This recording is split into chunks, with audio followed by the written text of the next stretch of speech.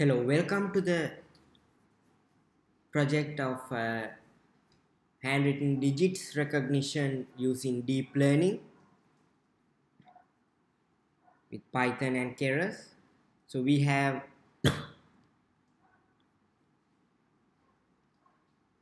already set up our environment. So you can use uh, refer the tutorial about setting up Anaconda, Keras and all setup and here we look at our first example. So this is regarded as the hello world program in deep learning. And we'll try to recognize handwritten digits using deep learning. So first we have I have already set up the code. So import TensorFlow as TF so it's a deep so with the hash we have the comment deep learning library tensors are just multidimensional arrays. So M MNIST is the dataset tf.keras. So here we are using the dataset from Keras. So if you want you can use your own dataset but you have to replace it here. So MNIST is a dataset of 22 by 28, 28 by 28 images of handwritten digits and their labels. And just like uh, the normal examples, we have X train, Y train, X test and Y test and we load our dataset mnist dot with the load function load underscore data so it unpacks the images to xtrain, xtest and labels to ytrain, ytest.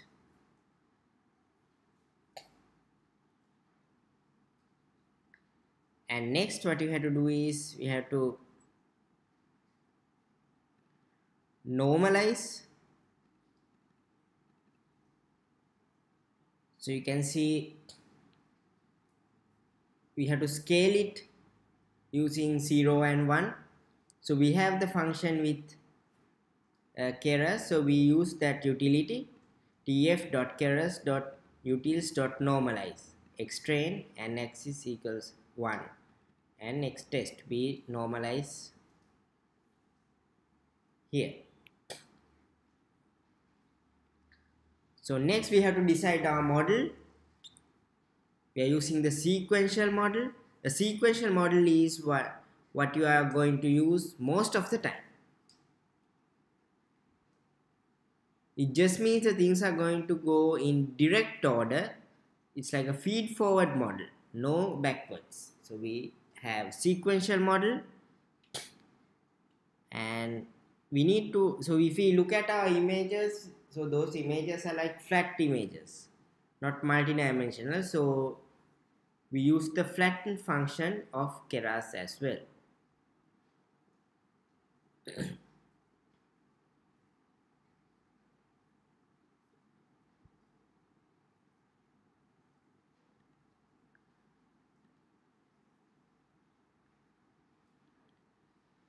Next we look at the layers.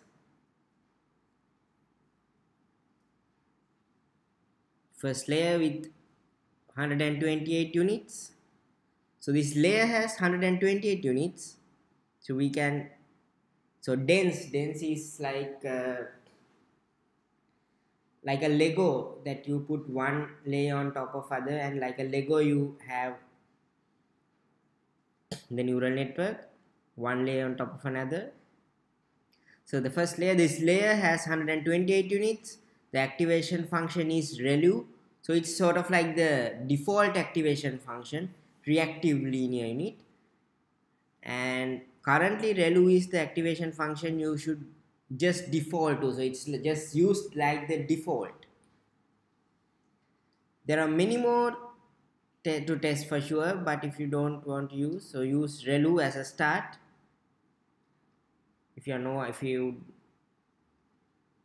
are using it as the basic one you can use relu which is a go to go to activation function the default one and next we have model.add tf.keras.layers.dense 128 activation equals tf.relu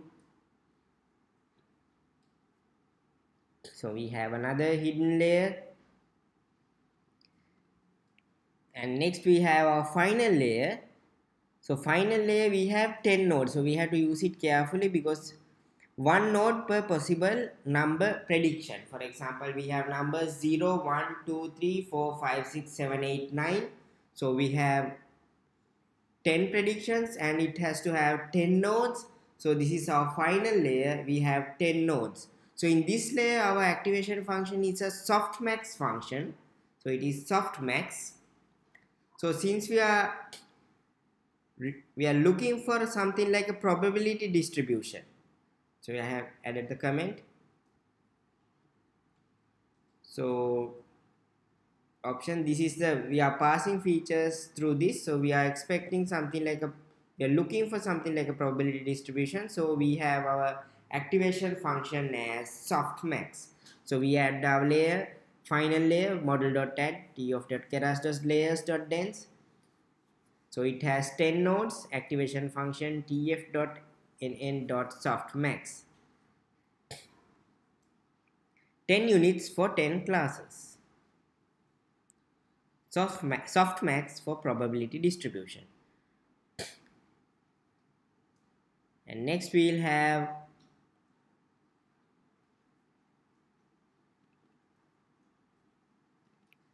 the loss function. So we add it like this model dot we are using uh, Adam as the optimizer and for the loss function and metrics accuracy.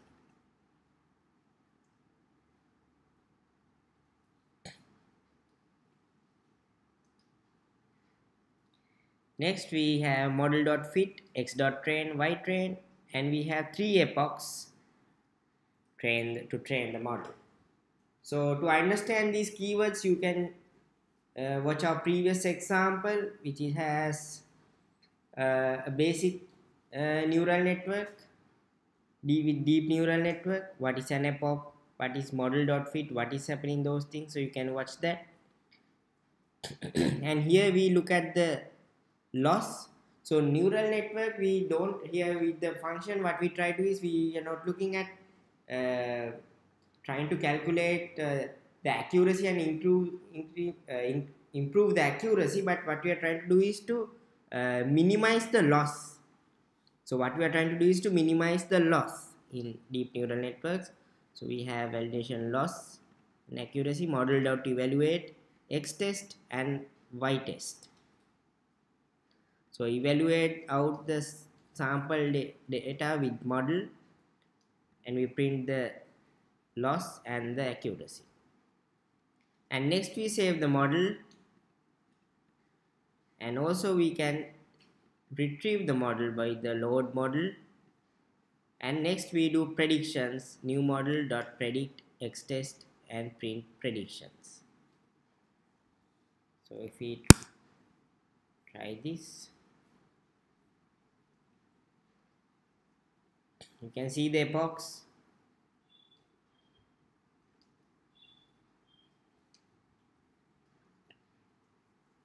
So in one epoch, the neural network trains, it goes through the full data set and in another epoch, it goes through the same data set again for another time.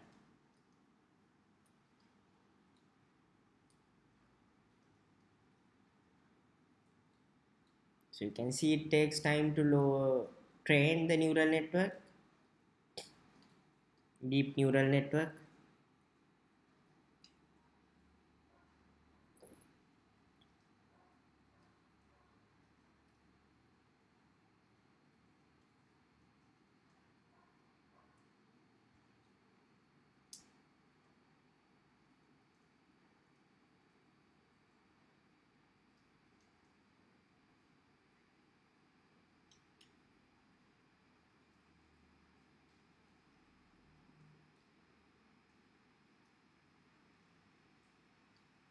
Now you can see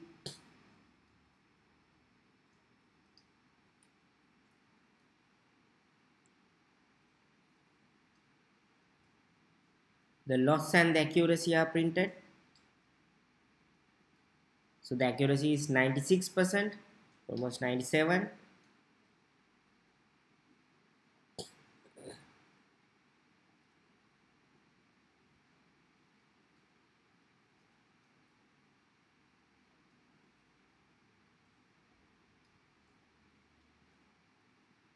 so here we'll try to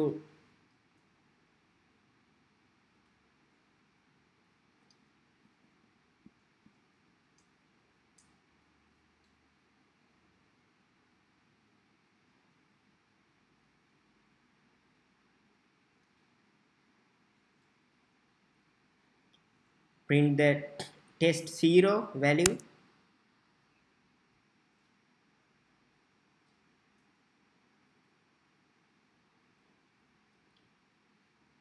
that is 7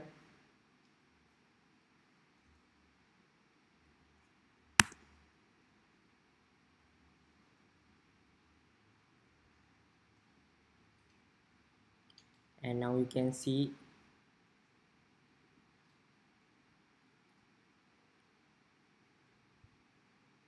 the image is also 7 and we predicted 7 so we have the image 7 and we predicted 7 so if we take these two separately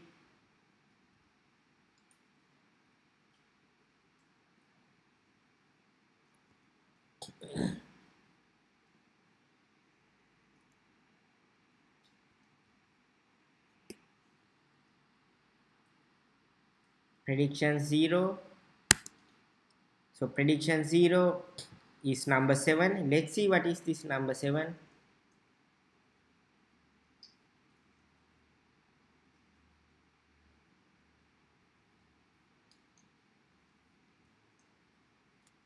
Is test 0. So prediction 0. For 0th index it says it's a 7. Our prediction says it's a 7 we'll print the image and see what is it really is so we have test 0 x test 0 so we got the answer as 7 let's see what is it if you look at the image it's also 7 so we have successfully trained our deep neural network to recognize hand digit hand digits handwritten digits. So the handwritten digit is available here in the image. And our system recognized it as 7 so you can see it here that's the end of this demonstration. Thank you